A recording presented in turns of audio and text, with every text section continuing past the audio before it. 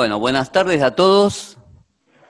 Primero, agradecer al Instituto Nacional de Cáncer de Uruguay, a la Asociación Rosarina de Anestesia, al Centro de Telemedicina de Montevideo y a todos los participantes de Bogotá, de Río de Janeiro, de diferentes ciudades de Argentina y de Uruguay, y muy especialmente, desde ya, al profesor doctor Enrique Benito, un gran amigo, líder mundial de cuidados paliativos y especialista en el área de espiritualidad y sufrimiento.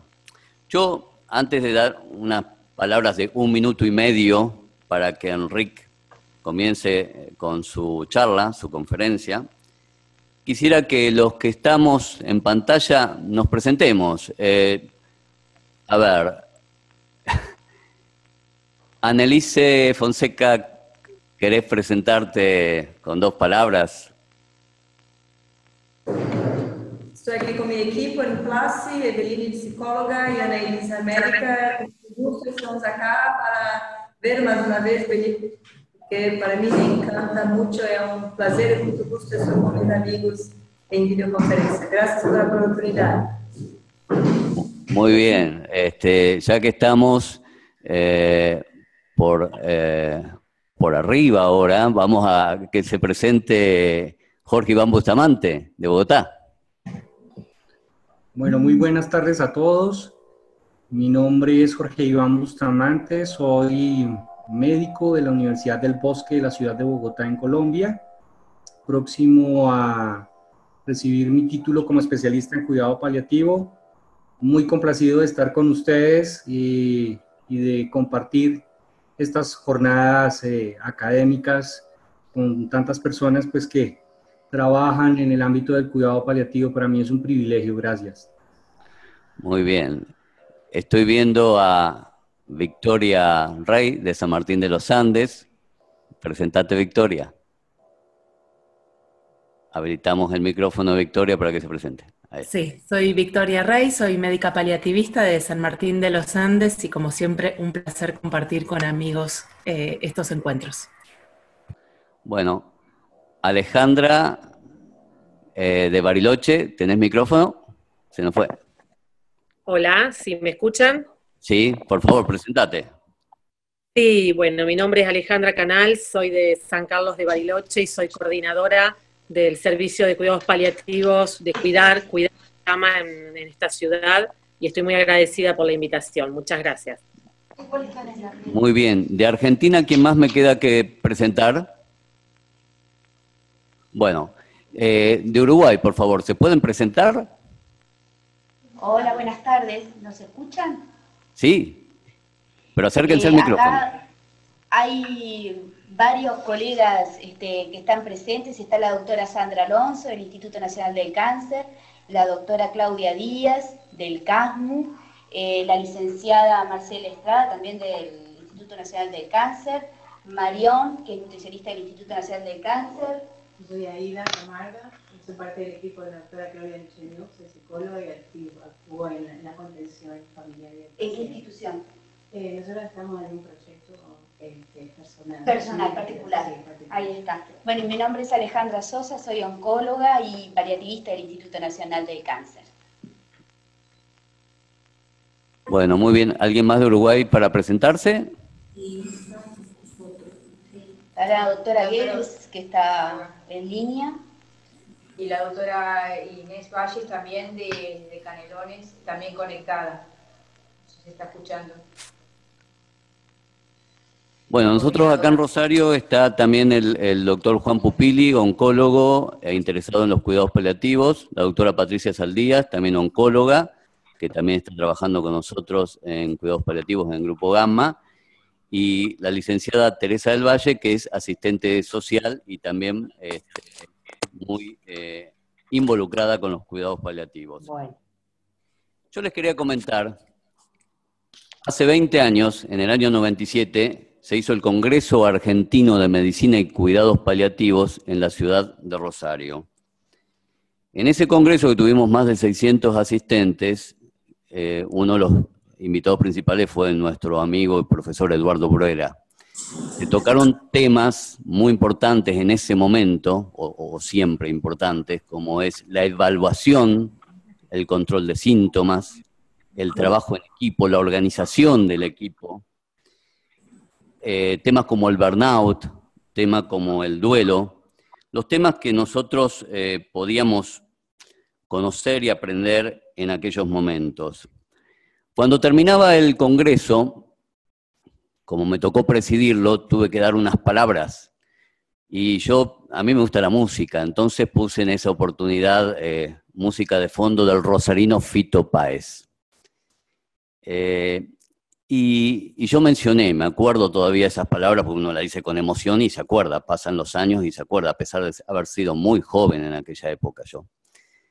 Eh, y yo decía, eh, cuando don Juan, como dice siempre Eduardo Brera cuando se menciona a un paciente, don Juan tiene ya sus síntomas controlados, cuando don Juan ya le pudimos aliviar todos los síntomas y don Juan nos dice que sigue sufriendo. Y yo decía en, aquel momento, ¿y qué podemos hacer por él? Y entonces mencionaba lo que cantaba Fito Páez, que es, ¿quién dijo que todo está perdido? Yo vengo a ofrecer mi corazón. Entonces, digamos, ¿qué podemos hacer? Ofrecernos a estar. Y era lo que sabíamos, mucho más no sabíamos sobre cómo manejar el sufrimiento, sobre cómo manejar los temas espirituales. Afortunadamente, Hoy hay personas en el mundo, líderes, como Enrique, nuestro amigo, que ha trabajado en los últimos 20 años y sigue trabajando, investigando en los cuidados paliativos, en el ámbito de la espiritualidad, del sufrimiento, y todo lo que en aquel momento lo hacíamos un poco con sentido común, hoy también sabemos cómo, estamos aprendiendo nosotros cómo manejarlo a todos esos temas de de espiritualidad, de, sufrimiento, sufrimiento existencial, la persona que se siente desintegrada. Y quien nos está enseñando es el profesor Enrique Benito, a quien le doy la palabra. Hola, buenas noches. ¿Me oyen ustedes? Sí, sí. Sí. Sí. Escucha, escucha perfecto. Perfecto. Bueno, muchas gracias. Primero de todo, gracias a Hugo, porque es un buen amigo con el que yo me siento, bueno, toda la gente de Rosario y todos ustedes, eh, encantado de poder compartir una noche. Aquí son las siete y cuarto de la tarde. Ahora se acabó el lío porque hasta ahora estaba mi esposa y mis nietos preparando el Belén y había un jaleo impresionante. Afortunadamente ya se fueron los nietos, creo que vamos a tener paz. Ah, y bueno, eh, he preparado algo muy sencillo porque he visto el caso que han presentado. Eh, me parece cambio de la conexión demora un poquito, pero debería reenganchar enseguida. ¿Hola? Sí, lo escuchamos, doctor. Entonces, bueno, me, he leído el caso. Voy a hacer unas reflexiones cortitas sobre un poco marcar el contexto de sufrimiento en nuestro entorno, en paliativos. Eh, y después, entiendo que después vamos a, debatir, escuchar el caso y vamos a debatir y tener, en fin, yo, yo eh, realmente veo que es un caso difícil, es un caso complejo, es un caso de, de sufrimiento probablemente eh, refractario quizá, eh, voy a hacer una reflexión sobre esto. Eh, esta mañana he hecho un ensayo en otra sesión de Zoom, espero que me funcione. Les voy a, compartir la pantalla de mi ordenador donde he preparado una presentación con algunos slides que voy a ir preparando, pasando mientras voy comentando. Si pueden, pueden ver ahora lo que les quería enseñar ahí, al mismo tiempo les veo las caras a ustedes. Vamos a ver, hay una frase interesante de Eric Kassel que seguramente muchos de ustedes conocen. Voy a hablar despacio para las brasileñas, que los cuerpos duelen y las personas sufren. Esto es algo evidente que todos hemos escuchado alguna vez, ¿no? Y el sufrimiento, desde el punto de vista, mm, no hemos sido enseñados en la Facultad de Medicina, ni de Enfermería, ni de Psicología, para entender y atender lo que es el sufrimiento pero sí que hemos ido construyendo, de alguna manera, una definición de, qué estamos hablando cuando hablamos de sufrimiento. Entonces, eh, una definición operativa que ustedes conocerán seguramente es, también pertenece a este autor, Eric Kassel, que dice exactamente es el estado de distrés, el malestar que se produce cuando nuestra integridad como persona está amenazada o rota. Y, este malestar se mantiene mientras la amenaza existe hasta que desaparece o hasta que la integridad es restaurada o trascendida. Me explicaré. Fijaros aquí lo importante del concepto de persona. Nosotros como médicos a veces atendemos la enfermedad o el cuerpo de esta persona, pero la persona no es su cuerpo. La persona tiene un cuerpo. La persona tiene una dimensión subjetiva y una dimensión trascendente que no están solamente en su cuerpo. La persona, todos tenemos una red de relaciones importantes con aquellas cosas que para nosotros les damos valor. Por ejemplo, las relaciones con nuestros hijos, con nuestras personas queridas, con eh, nuestros padres, nuestra familia, nuestros amigos.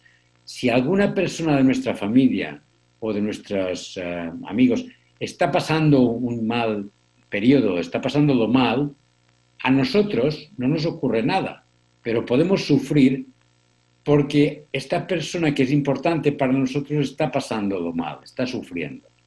Fijaros, y hay posibilidad de resolver los problemas, pero hay situaciones en las que la amenaza a la integridad no es un problema.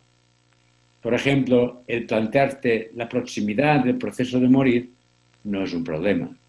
Es, como decía Borges, morirse es una costumbre que tiene la gente es una realidad que se va a imponer.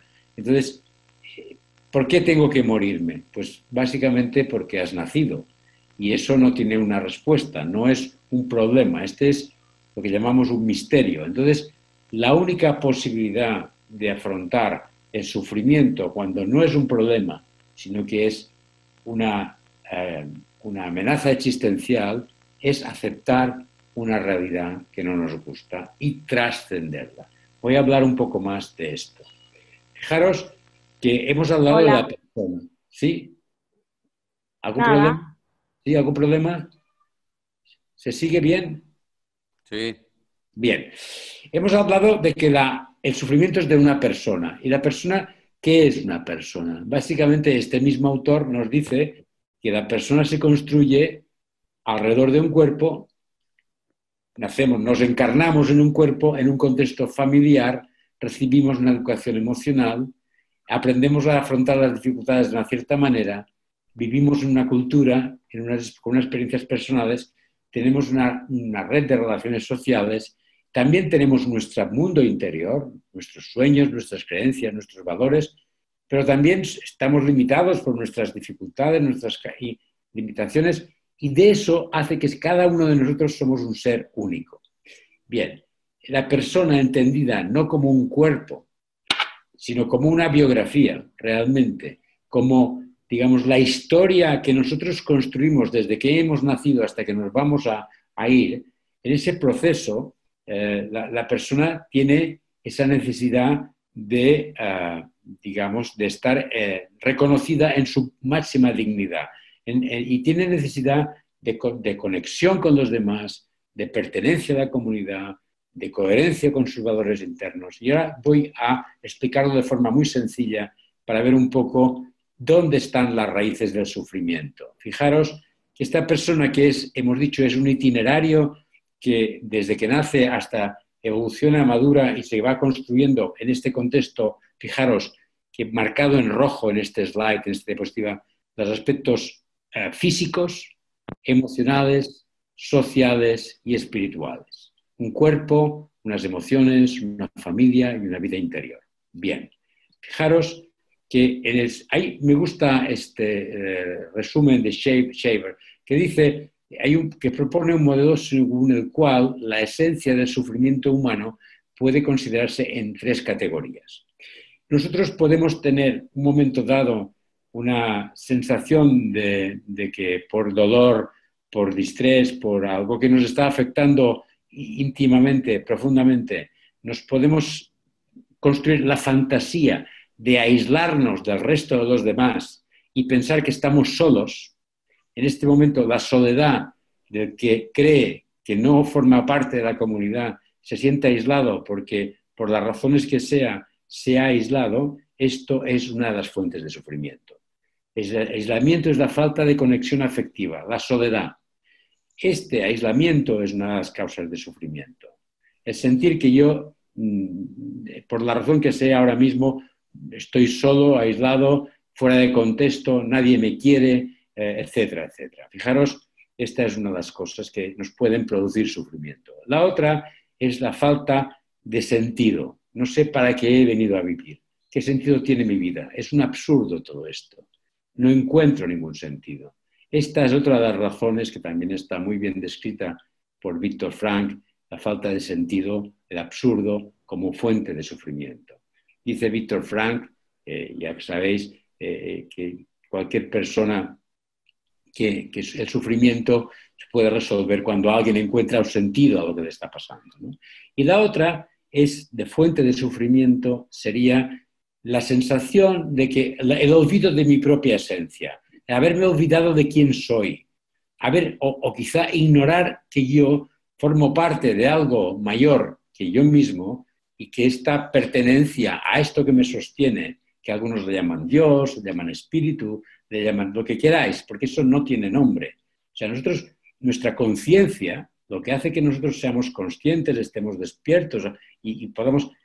Eso está fuera del espacio y del tiempo y eso tiene una dimensión trascendente. Cuando yo he olvidado esto y me creo que soy solamente un cuerpo y este cuerpo se está desmoronando, puedo tener mucho miedo, mucho sufrimiento, porque me he identificado con una pequeña parte de la realidad. Entonces, fijaros que estos tres elementos de sentido, conexión y trascendencia son los que de alguna manera hemos empleado también en la eh, Sociedad Española de Cuidados Paliativos para construir un modelo de acompañamiento espiritual, que voy a resumir rápidamente. Mirad, eh, la dimensión espiritual es, digamos, nuestra naturaleza esencial, aquello que nos conforma por dentro, lo que ya somos todos nosotros por el hecho de ser personas, y que nos impulsa, nos empuja a explorar eh, un anhelo inagotable de plenitud que se intenta expresar a través de las relaciones que establecemos con nosotros mismos, con nosotros mismos a nivel, con nuestra propia interioridad y tenemos todos necesidad de sentido y de coherencia. Cada uno con nosotros tenemos necesidad de tener paz e integridad, de ser, tener armonía con nuestros valores. Nos relacionamos con los demás y para esto necesitamos sentir que aquellas personas con las que nos relacionamos tenemos una relación de armonía y cuando tenemos problemas, dificultades, tenemos que haber, tiene que haber perdón y reconciliación, porque es muy importante en el momento, en cualquier momento de la vida, eh, que las relaciones con los que queremos sean armónicas, o hacia el otro, hacia los demás, hacia el otro, esa otra relación con lo trascendente, que significa, que significa la relación con esto que va a quedar de mí cuando yo no estoy que sería lo que se podríamos decir el legado que dejamos eh, en este mundo cuando nos vamos, o la, sensación de pertenencia. Hay algo que me sostiene. Yo le puedo llamar Dios o le puedo llamar lo que quiera, pero eh, yo sé que lo que yo soy no me lo he dado a mí mismo. Hay algo que me sostiene. Entonces, esas tres dimensiones, conmigo mismo, con los demás y con los demás, fijaros que cuando uno tiene una ha establecido una buena relación consigo mismo, tiene, su vida tiene sentido, es coherente con sus valores, cuando tiene una buena conexión con el entorno eh, más directo de su familia, sus amigos, y hay una buena relación, no hay asuntos pendientes, y además tiene expectativas de que su vida no se, no se va a limitar cuando su cuerpo muera, él no es un cuerpo solamente, sino que pertenece a algo que le sostiene, y además puede sentirse orgulloso de que ha dejado un legado a los que quedan, ese no va a tener dificultades, va a tener una fortaleza. Fijaros que esta, estas son eh, al mismo tiempo necesidades y recursos espirituales. A partir de esto hemos construido en la SECPAL este modelo de recursos y necesidades espirituales que podríamos decir que son las mismas que os he estado comentando. Las personas tenemos necesidad de sentirnos coherentes personalmente, que tenemos armonía con nuestros valores, que no nos hemos traicionado a nosotros en la vida. Hemos venido, hemos hecho aquello que hemos venido a hacer en la vida y nuestra vida ha tenido sentido. ahora tenemos que dejarla, pero bueno, estuvo bien porque hice lo que vine a hacer. Y además, con los demás, yo soy reconocido como persona, los que me cuidan respetan mi dignidad, me siento conectado porque me han amado y yo amo a los demás. Fijaros, todo eso son fortalezas. Pero si no tengo eso, lo que tengo es una necesidad. Si tengo, si tengo conflictos en mi entorno más próximo, necesito la reconciliación el perdón para poder establecer esa conexión, porque esa es una necesidad que tenemos los seres humanos. Y si además pues, eh, mi vida eh, tuvo un significado y pude hacer algo, dejé algo para los demás y siento que pertenezco a algo que me va a acoger cuando yo me suelte, tengo una esperanza y una confianza en esa pertenencia. Eso sería un esquema, digamos, humanista, transconfesional, porque esto no pertenece a ninguna religión, que todas las personas podemos, eh, digamos, identificarnos con esto. De hecho, en la SECPAL hemos hecho este modelo del proceso de adaptación al proceso de morir. La adaptación está simplificada en este esquema tan sencillo de sufrimiento identificado con lucha, resistencia, no quiero, no me gusta, porque a mí es injusto, soy muy joven, lo que sea. Esas fases de lucha, de resistencia, de negación, hay finalmente una fase de surrender, de aceptación y finalmente trascendencia. ¿no? Y la intervención terapéutica compasiva es la de que el que nos acompaña y nos ayuda nos hace ver que eh, podemos soltarnos, nos ayuda a, entregarnos a este, eh, a aceptar, soltar el sufrimiento. El sufrimiento es una visión limitada de cómo somos. Eh, bien, este mismo Victor Frank dice que a veces nos enfrentamos a un destino que no podemos cambiar. Y en este momento nosotros tenemos que elevarnos por encima de nosotros mismos. Esto hay que transformarnos y esto es válido para el dolor, la culpa y la muerte, dice eh, Víctor Frank. En el momento de la muerte tú no puedes resistirte ni luchar. Tienes que soltarte, aceptar y trascender, elevándote por encima de todo esto. Esta es la propuesta. Entonces, eh, la persona enferma eh, se siente a veces agitada por, mm, por dificultades, imposibilidad de, distraerse, y la estrategia más saludable en este momento es aceptar, aceptar, ¿no? Decía Jung, lo que resistes persiste y lo que aceptas se transforma. Ya acabo solamente para deciros que este es un modelo, Balfour Mount y Michael Kearney nos recuerdan que la sanación es ese proceso que se establece cuando tú estableces una relación con el que está sufriendo y en ese momento la persona es capaz de, al ser, al ser observada con, respeto y, con, atención, con, hospitalidad, con compasión, la persona es capaz de encontrar en sus propios recursos y elevarse por encima de sí mismo, encontrar su, su potencial y llegar a dar un paso hacia esta trascendencia, adquirir un nivel de conciencia que no tenía de sí mismo antes de, en, este, en este proceso. ¿no? Entonces, este es el modelo que nosotros hemos visto muchas veces, pero no, no siempre se produce. Entonces, quisiera decir que la persona, perdón, que eh, hay un artículo muy interesante, ya es antiguo, pero que es del 2007, tiene 10 años, que habla de las conexiones sanadoras. ¿no? Lo hemos traducido al castellano y si os interesa os lo puedo mandar, está en inglés original en el Journal of Pain and Symptom Management, donde Balfmont eh, entrevista, hace entrevistas cualitativas a grupos de, de, pacientes que están en un estado de bienestar, de serenidad, que se están muriendo pero con mucha paz, y otros que están muriendo con mucho distrés, con mucho sufrimiento. Creo que muchos lo conoceréis este artículo, pero lo que sí que le llama la atención y pone de manifiesto es que, como en el caso que nos vamos a encontrar después en la discusión, hay personas que están instaladas en un sufrimiento que es muy difícil de ayudarles. Y fijaros lo que dice de los casos de sufrimiento. ¿Qué tienen en común estas personas que se encuentran con este malestar al final de la vida? Mira, tener primero un sentido de desconexión ah, de sí mismo, de los demás, del entorno y del sentido último. No encuentran tampoco sentido a la vida, tienen un vacío existencial, son incapaces de encontrar paz, se preocupan, son gente que está muy preocupada por el futuro, por el pasado y no vive en el presente. Algunos de ellos pueden sentirse como víctimas y luego tienen una necesidad de mantener el control. Este es la fotografía de alguien que te va a tener un sufrimiento muy difícil de controlar en ese momento. Entonces, yo os, quiero decir que otra de las cosas que tenemos que saber es que al igual que hay una, una disnea, ah, digamos, refractaria o un dolor refractario que a veces hay que sedar, no tenemos que creer que podemos aliviar el sufrimiento de todos nuestros pacientes, porque hay pacientes con sufrimiento refractario. El caso que vamos a ver después probablemente tiene una gran cantidad de componentes biográficos que lo van a hacer muy difícil que esta persona pueda eh, entregarse, aceptar y trascender fácilmente, porque tiene una biografía realmente muy desestructurada, con muchísimas, una historia muy dura de eh, de todas maneras, los milagros siempre se pueden dar y yo no estoy haciendo un mal pronóstico de nada, simplemente deciros que seamos conscientes que no somos responsables del fruto de nuestro esfuerzo, solamente somos responsables de nuestro esfuerzo, pero muchas veces no vamos a poder conseguir que la persona trascienda este malestar. Y os pongo una última slide, creo que es el de...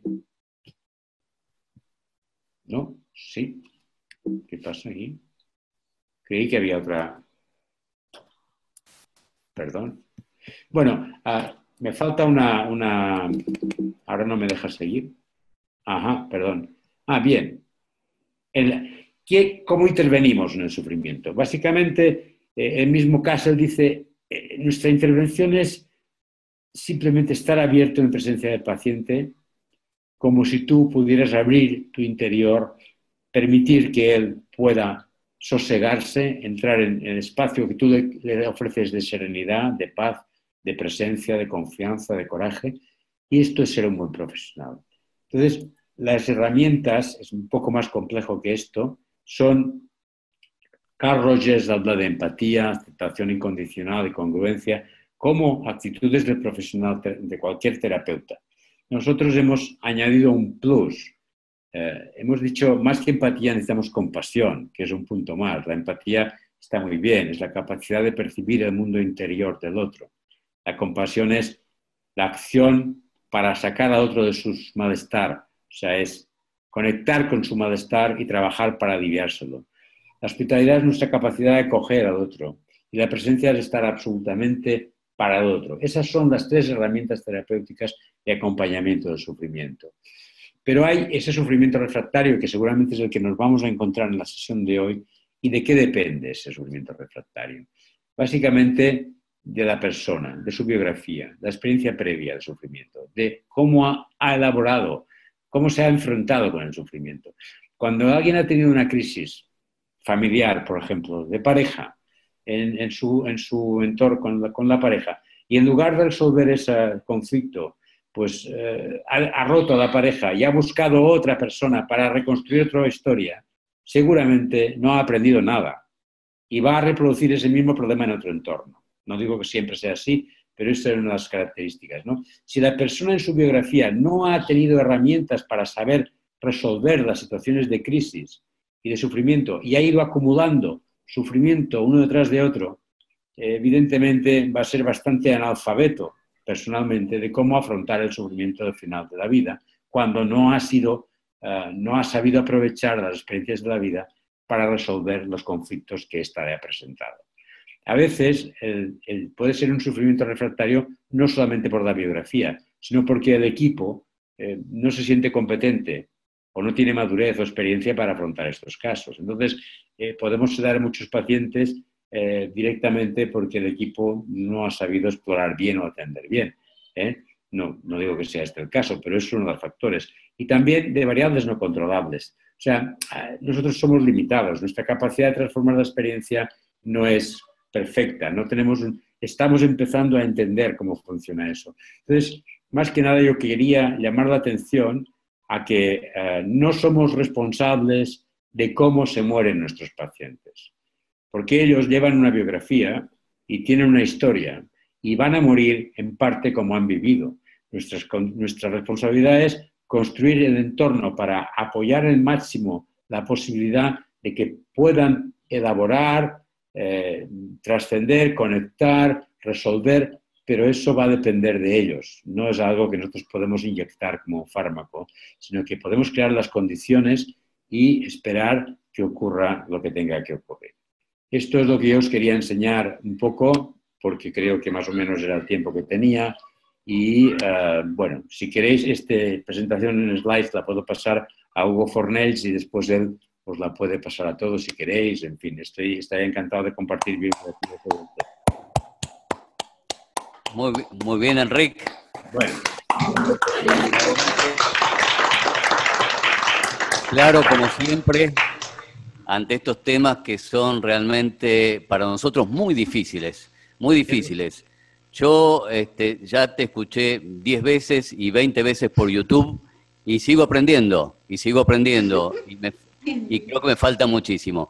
Eh, eh, yo pensaba, como coordinando esto, sería muy interesante que te hiciéramos preguntas de lo que pensamos, pero tal vez lo podemos hacer en forma más práctica, este, viendo la historia clínica que nos presentan desde Uruguay y a partir de esa historia clínica que entre todos hagamos aportes y sobre todo vos después des el cierre de lo que te parece que cómo afrontar el caso clínico difícil que nos presentan nuestras amigas de Uruguay.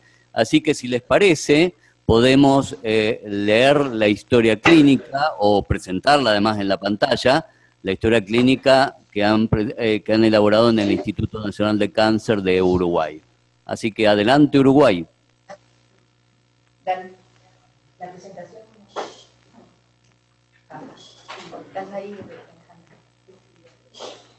¿La pasamos de acá? Sí. Sí. Perfecto. Bueno, comenzamos con la historia clínica. Brillante la exposición, como siempre, doctor Benito. No sé si nos escuchas bien, Hugo. Eh, acércate más al micrófono, dale más volumen, por favor. Ahí. ¿Ahí escuchan bien? Perfecto y claro. Vale. Bueno, entonces continuamos presentando la historia. Este es un paciente de 54 años, de sexo masculino, procedente del interior de Uruguay, del departamento de Paysandú, que actualmente vive en Montevideo. Es un empleado público, ex tabaquista intenso y es alcoholista moderado. Es un hombre que vive solo, que tiene dos divorcios, dos hijos del primer matrimonio que son adultos, que viven cada uno por su cuenta, solos, y tiene dos hijos del segundo matrimonio, una niña de 13 años y un varón de 9 años, que viven en el departamento de Paysandú, o sea, en el interior de la República, a cargo de un tío materno. No viven con la mamá, a quien la ven en ocasiones. La hermana del paciente refiere que la madre de los chicos no se ocupa de los hijos. Durante la internación, el paciente está generalmente acompañado por su hermana y el hijo mayor. Ha recibido la visita y habla telefónicamente con los otros hijos, con los más chicos, con los que están en el interior. No ha recibido visitas de compañeros de trabajo ni otros familiares o amigos. El paciente es el proveedor principal del alquiler de la casa en donde viven el tío y sus dos hijos, cumple con cuota alimentaria a los menores de edad y se encarga también de la cuenta del almacén, o sea, de eh, proveer el alimento a sus hijos y a el tío. En la actualidad está certificado ante el BPS por enfermedad oncológica. Es un paciente con un cáncer urotelial transicional de alto grado, diagnosticado en enero de 2016 con un secundarismo óseo a nivel de ambas ramas isquiopubianas. Recibió tratamiento oncoespecífico sistémico, cuatro líneas, progresando bajo las mismas, siempre a nivel óseo, recibiendo, este, aparte de tratamiento analgésico este, vía oral, subcutáneo, intravenoso, recibió radioterapia también con criterio analgésico sobre peles. Ha tenido múltiples infecciones urinarias, abscesos, hidronefrosis, recibió múltiples tratamientos antibióticos y en, julio de 2016 se le realizó una nefrostomía derecha. El paciente eh, estaba eh, bajo el control de una unidad de cuidados paliativos que lo veía en su domicilio e ingresa en septiembre de este año al Instituto Nacional del Cáncer por un dolor intenso a nivel lumbar bajo y sacro y coxofemoral mayor a derecha, con flexión antálgica de miembro inferior derecho, fuerzas y reflejos osteotendinosos conservados, con un dolor difícil de manejar en domicilio, por lo cual el equipo de cuidados paliativos domiciliarios eh, no solicita el ingreso al Instituto Nacional del Cáncer. Es valorado en el mismo, se empiezan a aumentar las dosis de opioides que el paciente ya venía recibiendo, dado que no calmaban el dolor. Este, presentaba una función renal y una calcemia normal, entonces se le administraron bifosfonatos, en este caso pamidronatos, este, inhibidores de la recaptación de la serotonina, ansiolíticos como coadyuvantes. El paciente ha pasado de recibir morfina bioral, subcutánea, parches de fentanil, metadona bioral, actualmente está con metadona subcutánea y se le colocó un catéter epidural con bupivacaína, que cada vez se van incrementando más las dosis de esos analgésicos porque el dolor era 10 en 10, actualmente tiene un dolor que al día de hoy, en vez de 8 diríamos que es de 7 en 10. No puede movilizarse de la cama a causa de la exacerbación del dolor. Es un paciente que hace 62 días que lo tenemos ingresado en el instituto y está continuamente acostado, boca arriba, sin poder lateralizarse, porque lateralizarse causa dolor. Durante la internación recibe llamados del de, eh, docente de su hija de 13 años por alteraciones de la conducta de la niña en, el colegio eh, y le comenta que la niña ha empezado a autoinfligirse cortes en la piel con intenciones de autoeliminación ante preocupación por la progresión de la enfermedad de su padre y enfrentarse a la posible muerte de su papá lo cual obviamente al paciente estando lejos este, y no pudiendo comunicarse muchas veces con la frecuencia que él quisiera con la niña, lo angustia muchísimo. Fue valorado por el Comité de Tumores Urológicos y eh, el comité decide que ya se pasaron por todas las líneas que se podían pasar de tratamiento sistémico y no propone eh, continuar con el mismo. Fue valorado por psiquiatra de la institución este, que nos refiere que el paciente se encuentra angustiado, pero no tiene elementos de depresión mayor.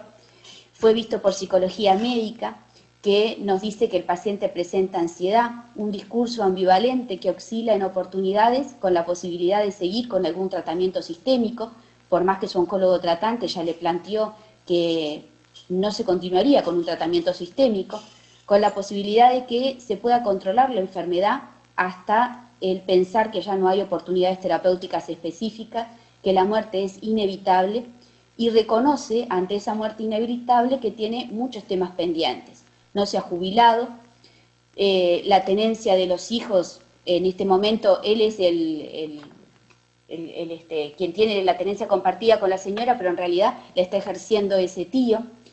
Él es el que mantiene el lugar donde viven esos hijos y eh, sabe que una vez que él fallezca nadie va a mantener ese hogar, pero si bien lo reconoce, eh, cuando se le ofrece ayuda a través del asistente social, de psicología, no define ni abordarlo ni tratarlos. Estamos entonces ante un paciente con un cáncer de vejiga diseminado que progresó luego de varias líneas de quimioterapia que recibió radioterapia con criterio analgésico llegándose a dosis radicales, por lo cual no podemos utilizar la radioterapia con criterio analgésico nuevamente, con un dolor de difícil manejo que actualmente persiste siendo severo, aunque de menor entidad, 7-10 en la escala EVA, encamado, sin posibilidad de tratamiento sistémico, con un sufrimiento total que ha puesto en marcha todos los recursos que tenemos en la institución y que nos mantiene muy preocupados y ocupados en su mejor resolución, por lo cual, bueno, le elegimos para compartir con este, ustedes, para conocer su opinión, este, y también eh, les agregamos que se le ofreció al paciente eh, asistencia espiritual eh, entendiendo y definiendo bien que la religiosidad está dentro del espiritual, no comparándolo ni haciendo la salvedad de que son cosas distintas, pero también ofreciéndoselas para ver si él este, se veía más cómodo, este, si necesitaba algún asistente espiritual y el paciente rechazó esa opción. Por si no teníamos tiempo, ya les deseamos feliz Navidad y un próspero año nuevo, porque después la conexión se nos termina y no nos saludamos. Bueno, muy bien. Eh, Alejandra Sosa, Alejandra Sosa. Sí, Alejandra, sí. Ah, bueno, bueno. Bueno, yo creo que es una historia clínica realmente muy completa desde el punto de vista de lo oncológico y también todo lo, que trasciende a lo oncológico del paciente. Eh, yo quiero que entre todos, cada uno de los, por lo menos cuatro o cinco personas, hagan o hagamos algún aporte. Yo para empezar, decir que desde el punto de vista oncológico, este paciente fue magníficamente tratado. Es más, un paciente que hizo dos, tres líneas de quimioterapia con un cáncer de vejiga, con metástasis óseas, que uno sabe que ya no hay ninguna chance más de tratamiento oncológico y que actualmente se encuentra postrado, eh, con un performance status 3 o 4, no amerita seguir con ningún tratamiento oncológico, ni de inmunoterapia, ni de quimioterapia, ni de radioterapia. Me parece que lo están manejando eh, bien inter y multidisciplinarmente. El paciente se le realizó una nefrostomía porque tenía una obstrucción urinaria, se trató con antibióticos eh, específicos, aislando germen, o sea, se trató también con infectólogos o con clínicos, todo eso forma parte de la multidisciplina y lo están trabajando interdisciplinariamente. Y este es uno de los casos que yo siempre, cuando explico acá en Rosario la necesidad de los cuidados paliativos que no son aceptados por muchas obras sociales, digo, ¿cómo puede ser que hagamos todo, que gastemos miles y miles y miles de pesos, dólares eh, en tratamientos oncológicos y en este momento que el paciente necesita asistente social, que necesita psicología, que necesita eh, asistencia espiritual, que la podemos hacer nosotros que no estamos tan preparados, pero o con alguien que esté preparado, muchas veces no se le brinda nada o muy poco. Como ha llegado Eugenia Méndez, paliativista del Grupo de Rosario, yo quisiera que pase y nos, y nos comente algo eh, sobre el caso. ¿Pasa, Eugenia? Y después pasamos la posta a Uruguay, Brasil y Colombia, y el resto de la Argentina. Hola, buenas tardes. Eh, quiero saludar también a mis amigos que veo desde acá, Iván, Anelis, al doctor Enrique Benito, Victoria, están todos. Eh, llegué, debo decir, un poquito tarde. Eh, lo mismo comparto, son pacientes complejos, son pacientes que desde el punto de vista de desde lo farmacológico, sabemos que no podemos aportar demasiado, eh, vi que rotaron, creo, por todos los opioides, eh, por tratamiento de radioterapia, por, digamos, el, dolor, dolor 7 para 10, el dolor sigue con, paciente sigue con dolor moderado, con probablemente sufrimiento también por la causa física, pero sobre todo eh, por la situación de estar muriendo sin resolver algunas de las cuestiones pendientes. es difícil y en realidad hablar eh, adelante del doctor Benito, incluso antes que él en esta situación, se me complica un poco, más que acompañarlo y que escucharte, Enrique, para ver qué, nos puedes decir. Eh, no, no, más que acompañarlo y escucharlo es difícil agregar alguna otra cosa. Eh, ¿Puedo decir algo, Hugo, o, todavía es pronto? Sí, sí, sí. Igual guardate algo para el final, pero podés decir. No, me gustaría, si no nos da tiempo, decir, vamos a ver, este hombre, eh, yo veo que este hombre tiene básicamente un conflicto biográfico importante. Él está sufriendo por lo que, por lo que está intuyendo. Él está intuyendo que se va a morir.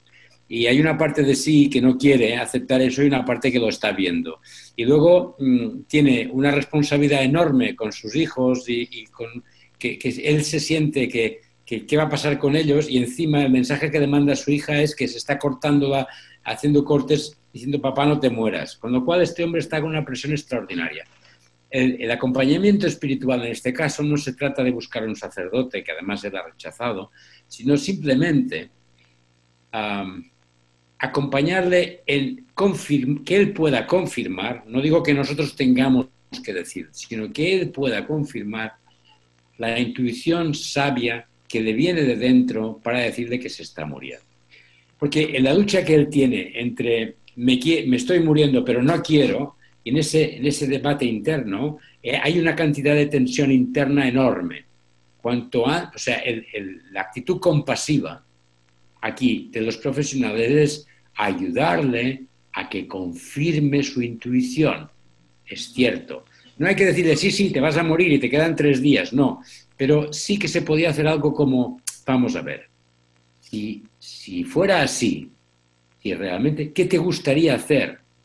Porque él no toma decisiones respecto a la jubilación, respecto a, a, buscar ayuda y apoyo para sus hijos, porque hay una parte de él que todavía está pensando, pero si me pongo bien, eh, y en esa lucha alguien cariñoso, compasivo, es decir, vamos a ver, solamente just in case, en caso de que no te pusieras bien, yo no digo que no te vas a poner bien, no te digo que te vas a morir, pero si, te, si no te pusieras bien, ¿cómo te gustaría dejar arregladas las cosas? Vamos a empezar a arreglar las cosas, jubílate, mm, piensa quién va a cargarse de tus hijos, dile a tu hija lo mucho que la quieres, lo importante que es para ti, ayudarle a que él ponga, reconcilie un poco, organice en la medida que pueda esta parte.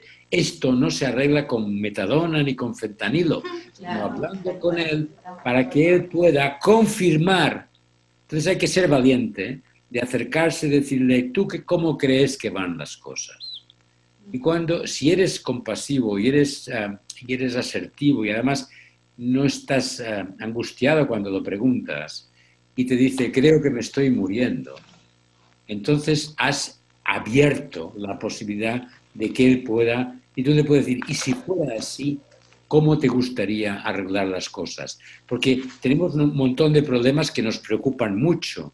Vemos que no duermes bien porque tienes mucha necesidad de calmantes, pero nos parece que lo que te preocupa es tu hija, cómo quedarán los niños, quién pagará el alquiler. ¿Quieres que hablemos de esto?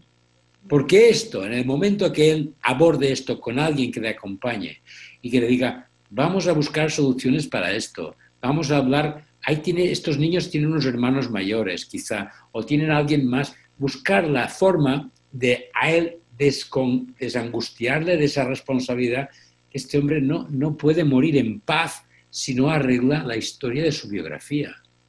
Y luego otra cosa muy importante, cuidarle con mucho cariño para que nunca se sienta culpable de lo que quizá no supo hacer mejor porque él tampoco tenía una formación emocional ni espiritual para hacerlo mejor.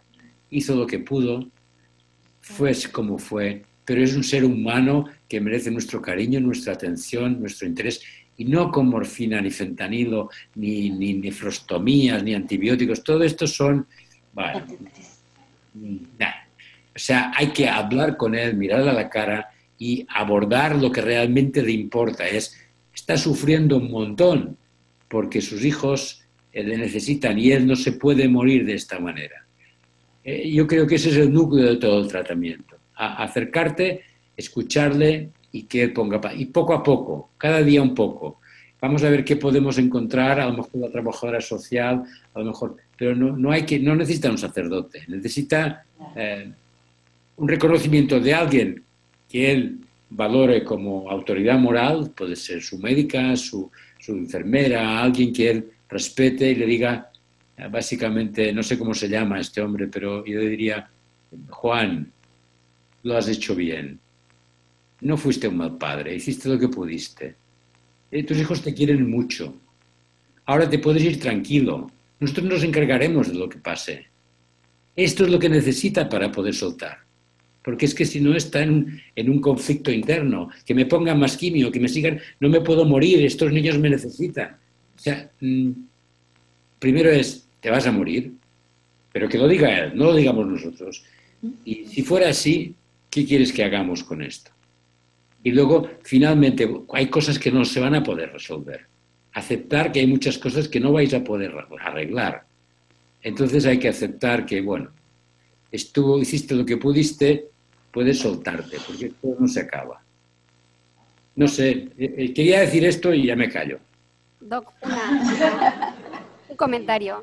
Así como muchas veces los pacientes sospechan que tienen cáncer y hasta que nosotros no se los confirmamos, no se relajan y se dejan tratar, muchas veces los pacientes que sospechan que están viviendo los últimos momentos, cuando nosotros podemos confirmar esto, tal como usted lo dice, también se relajan y se dejan de esperar y en realidad eh, adoptan una actitud activa frente a esto, qué puedo hacer, qué puedo resolver, qué me queda pendiente. Y me parece importante esto, eh, confirmarle la sospecha, como usted decía, de, que me estoy muriendo y qué puedo hacer en este tiempo para que no sea un tiempo muerto y para que yo pueda resolver. Es fantástico.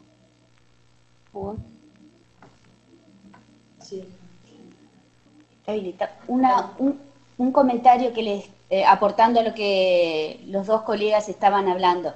Julio, que así se llama nuestro paciente, este, y que en mi caso lo conozco desde que le diagnosticaron su enfermedad, porque soy su oncóloga tratante de tratamiento, este, y después ingresó a la unidad de cuidados paliativos, y entonces ahí también lo acompañamos, sabe su pronóstico, eh, se ha hablado de la posibilidad de una muerte cercana. Igual no es una muerte que la tenga, eh, no es un paciente que está en, tres meses, seis meses de sobrevida, su secundarismo es específicamente óseo. Y el tema de su sufrimiento es ese, él sabe que va a morir, pero también tiene la percepción de que va a morir en un tiempo largo y ese tiempo largo va a ser en cama, mirando hacia arriba, con esos dolores y si bien sabe que se va a morir y le hemos este, dado también, este, apoyado para poder expresarse, para poder jubilarse, eh, ver quién se va a encargar de sus hijos, eh, por más que se lo expresamos y distintos integrantes del grupo para no ser siempre el mismo, capaz para ver quién tiene más empatía con él, de todas maneras él no, no cuando nos dice que sí, que de repente este, quiere ayuda, pero cuando se le ofrece la ayuda se arrepiente de, en ese momento. Eh, decide que se va a jubilar, pero entonces aparece el problema de que eh, hay un escribano a quien le tiene que hacer un, poder para que pueda hacer los trámites, y ese escribano nunca aparece. Tratamos de conseguir escribano y él ahí se arrepiente de jubilarse. Hemos este, dado por lo menos todo lo que nosotros tenemos en, en, el instituto a nuestra disposición para poder ir resolviendo esos temas y, este, y el paciente continuamente eh, tiene una posición, como decíamos, muy dual. De repente un día acepta las cosas y al otro día no las acepta. Yo eh, comentar un poquito con lo, en relación a lo que estás diciendo y, y, lo, y la experiencia que me ha tocado ver con otros pacientes. El tema es que a veces se acerca el escribano, se acerca la persona que lo va a ayudar en la jubilación y nosotros estamos aprendiendo a manejarnos con compasión con estos pacientes y el escribano no se maneja de esa manera. Entonces, yo creo que lo que tendríamos que hacer es que la persona que se acerca, que no forma parte del equipo, se acerque con alguno de nosotros y que previamente tenga una charla con nosotros para este, que no sea la, frialdad de eh, cómo se va a tramitar una jubilación, que sino se acerque con una forma empática y compasiva es lo que me parece a mí que a veces fallamos cuando decimos, bueno, que venga el abogado, que venga el juez, que venga el escribano.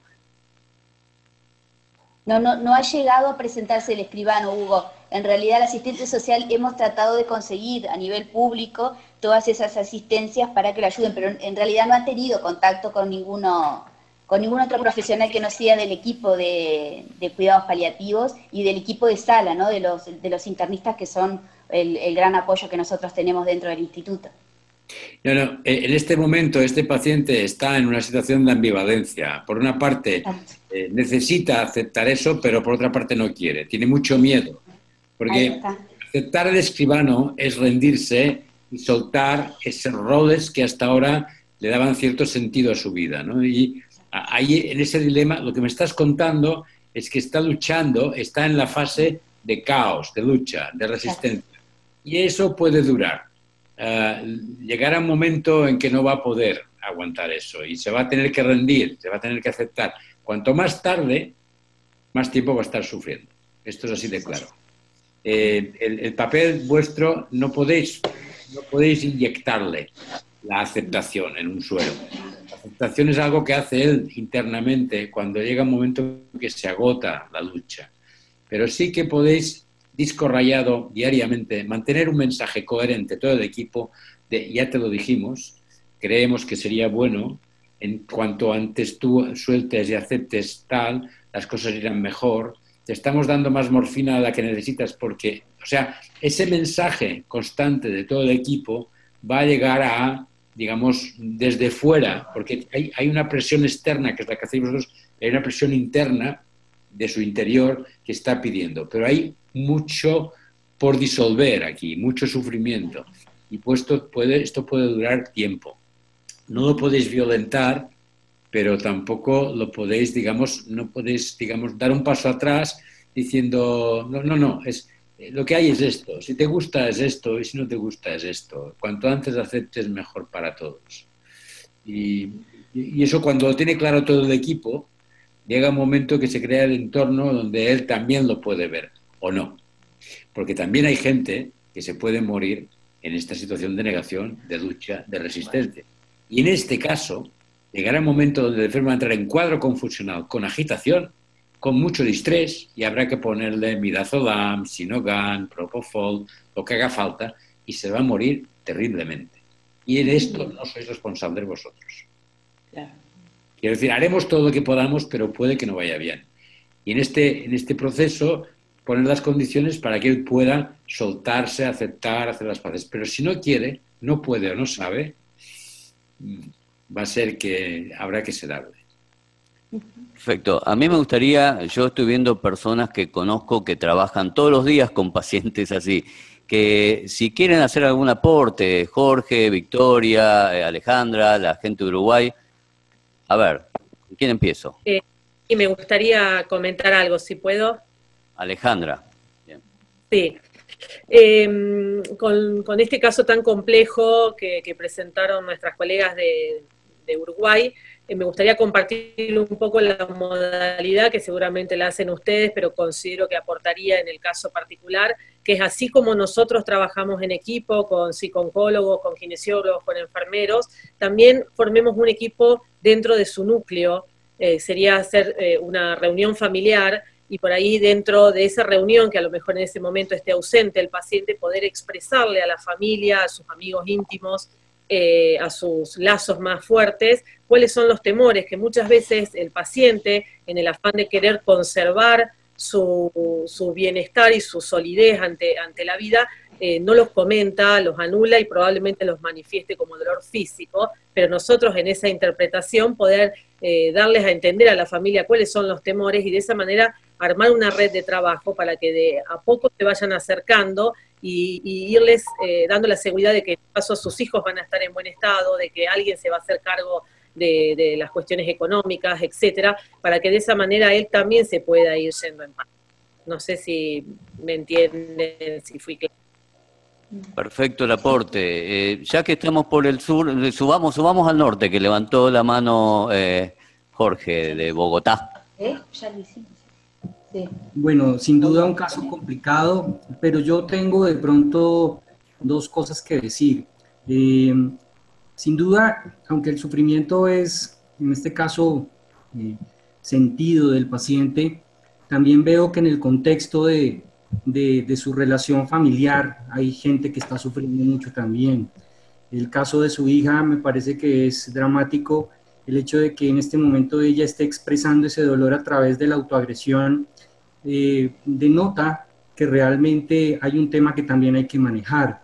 Yo eh, eh, utilizaría de pronto dos palabras y es básicamente perdón y reconciliación, porque yo creería que en medio de toda esta vivencia que hay en esa biografía que menciona el doctor Benito, eh, sin duda esa interacción familiar y ese, esa biografía que ha ido acompañando, acompañándose de la vivencia con los hijos, seguramente hay muchos elementos en donde eh, la culpa que tiene en este momento Julio tampoco lo deja progresar. Entonces yo creería que también hay que intervenir un poco en, en esa situación y tratar de buscar esa posibilidad de reconciliación, de perdón y reconciliación que muy seguramente está muy ligada a esa experiencia que tuvo eh, previamente con sus eh, parejas y con, los, y con sus hijos.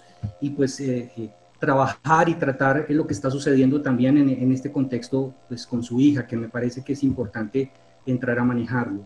Esa sería la observación que yo haría.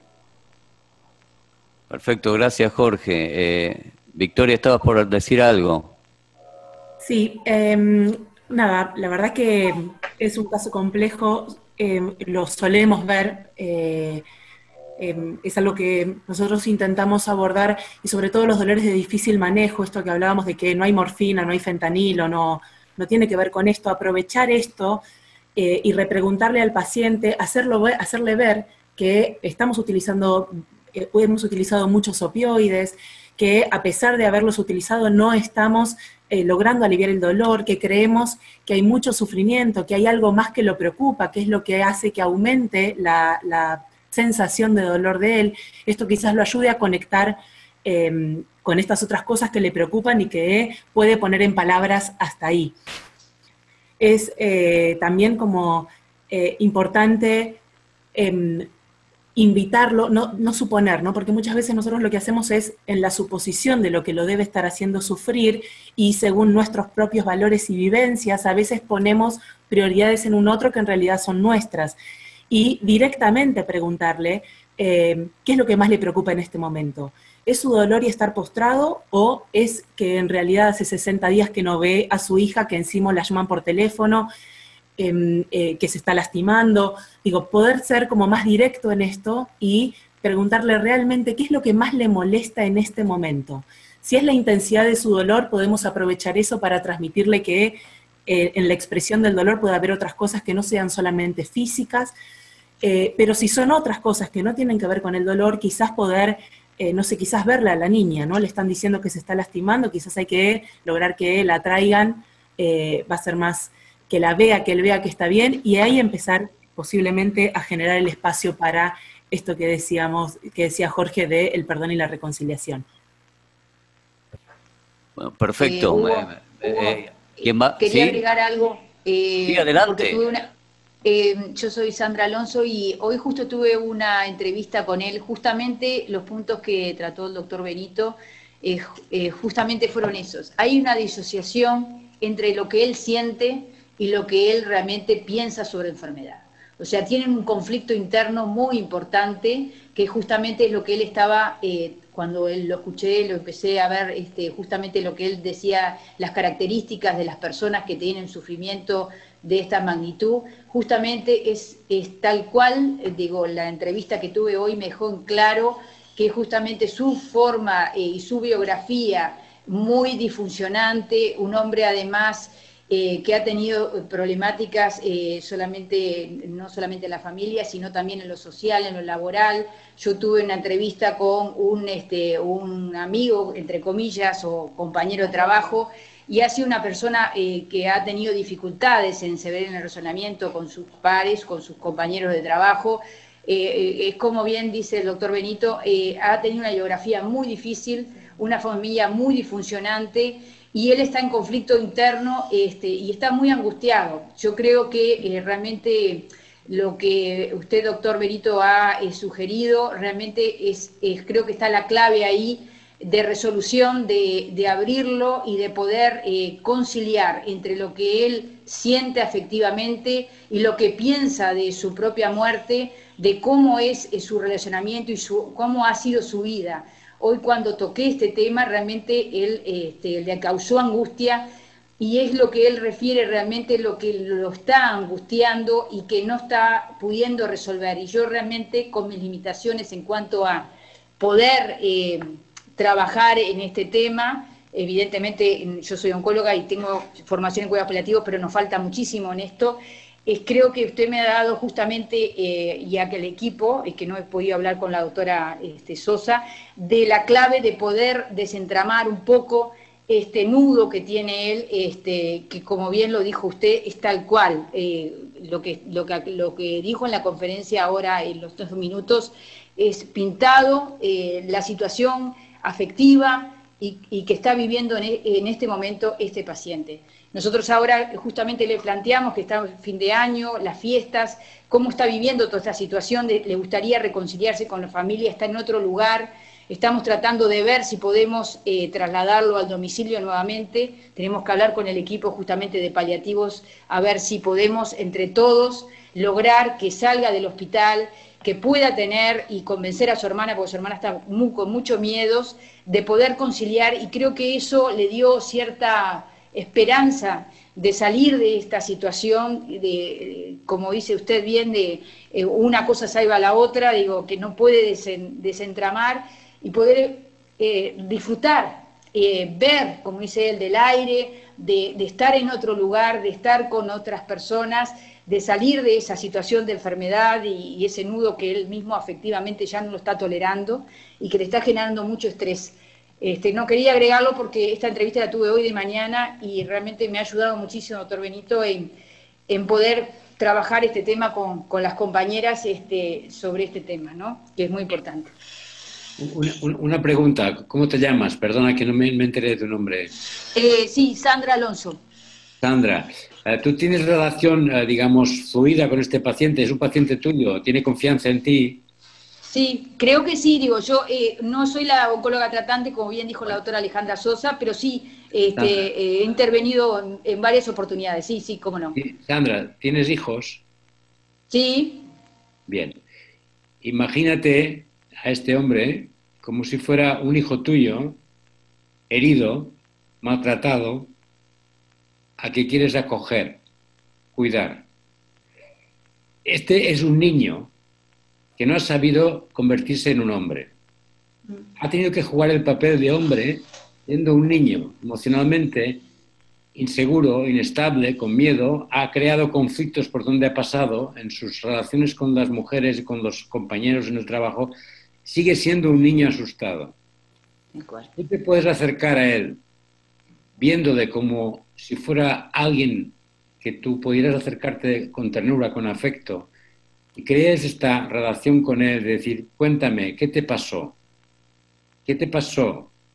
Si fueras capaz de llegar a ese punto de su biografía donde él se empezó a liar en su infancia, qué padres tuvo, qué historia le pasó, qué fue que hizo que él fuera tan, digamos, ah, emocionalmente discapacitado, por decirlo de alguna manera, eh, podrías llegar a abrir el acceso donde puede salir todo el pus que este hombre tiene acumulado en su vida. Tal cual.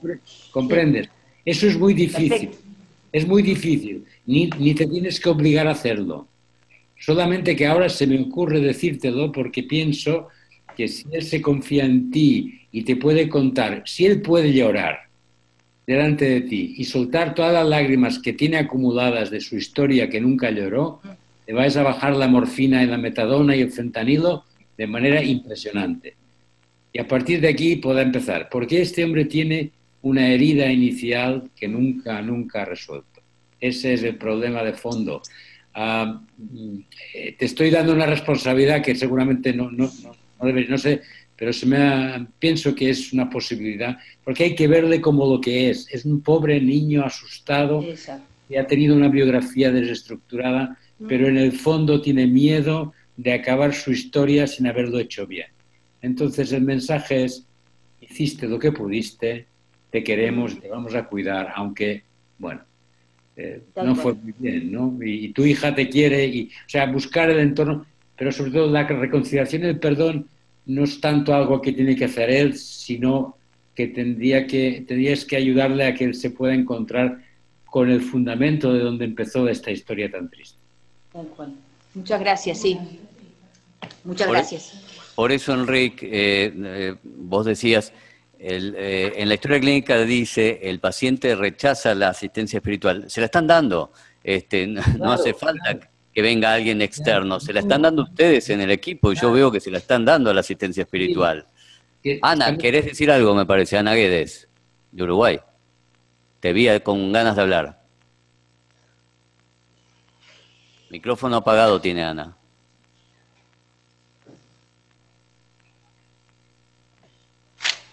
Ahí está. ¿Se, escucha? Sí. ¿Me escuchan? Sí, ah, Ana, sí. No, una, una pregunta. Yo integro como internista el equipo de, de las colegas Alejandra este, y Sandra. Este, algún aporte a la terapéutica también le hice a este paciente, pero me pregunto ahora, y que no lo comenté con ellas, porque la ausencia de la figura materna en, la, en el cuidado de esos hijos parece eh, fíjense que ahora recién lo, observo, pero lo, capaz que resulta un aporte para todos. Eh, parece una, algo muy importante, ¿no? Que una madre esté alejada, eh, recurrir a esa, esas figuras ausentes que a veces hay en la historia de sufrimiento, ¿qué nos puede aportar Enrique y, este, y Hugo sobre su experiencia, ¿no? Este, porque la figura materna es muy relevante en el cuidado, no tendrá, este, no será algo bueno recuperar ese, esa presencia, me pregunto, ¿no? Eh, ir a buscar a esa madre y ver si se ocuparía de los hijos, capaz que es algo, porque lo he visto en muchos pacientes que esperan a alguien que no está presente y no lo pueden verbalizar. No sé si sería este el caso, pero si tienen experiencia y nos pueden decir algo. Y, y sugeriría que la estrategia sería, una vez que aceptas a este niño herido como, como ser humano que acoges, después hacerle ver que en este momento confirmar su intuición de que se va a morir y decirle que los niños no están solos porque tienen una madre. Y si él fuera capaz de pedir perdón a esta madre, haría dos cosas. Ponerse en paz con su historia y dejar sus hijos a alguien que les pueda cuidar.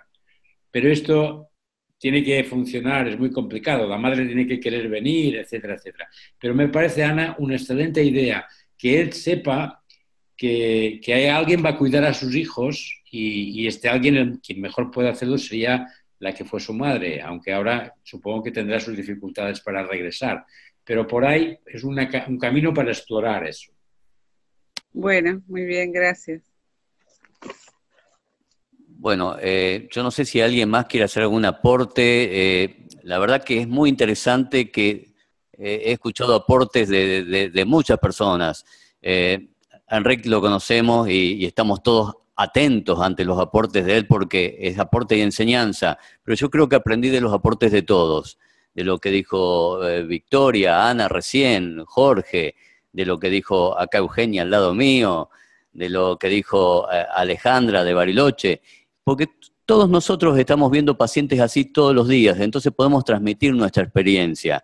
Eh, Enrique ha visto pacientes así, ahora está jubilado, pero ha visto pacientes así durante muchísimo tiempo y ahora nos está enseñando con su teoría, que aprendió con la práctica, a cómo manejarnos y no morir en el intento. Este, porque estos eran los pacientes que cuando yo empecé con los cuidados paliativos se los sedaba, se los dormía, porque pero los dormíamos por nosotros mismos, creo.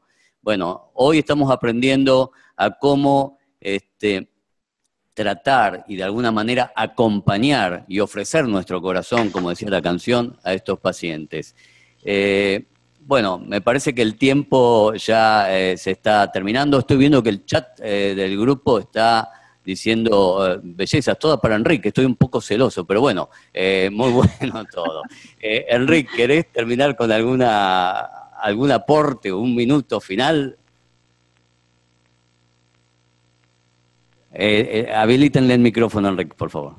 No, no, soy yo que lo tengo que habilitar. Ah, eh, bueno, mm, no sé, me inspira mucho verles a todos ustedes. La verdad que les agradezco el interés y, bueno, gracias por armar esta conferencia, ¿no? Eh, bueno, yo creo que hay que acercarse también con una mirada enfermo de, de confianza, de coraje, de no miedo, porque nosotros transmitimos lo que llevamos con nosotros, ¿verdad? Entonces, bueno, ahora esto os lo dedico a vosotros para que lo tengáis claro, ¿no? Y es un pequeño poema de Rabindranath Tagore y dice algo muy sencillo. Dice, una madre está amamantando a su hijo. De repente el pecho acaba, el niño se acaba con la leche de este pecho y, se pone a llorar. Y la madre suavemente se acerca y le da el otro pecho. Morir es exactamente esto, el llanto entre dos tetas.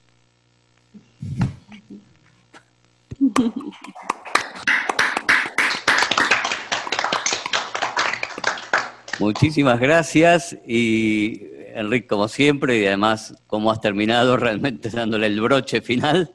Y espero que nos veamos pronto en, una nueva videoconferencia y que sea pronto otra vez contigo, Enrique, que tan generosamente te prestas a esto.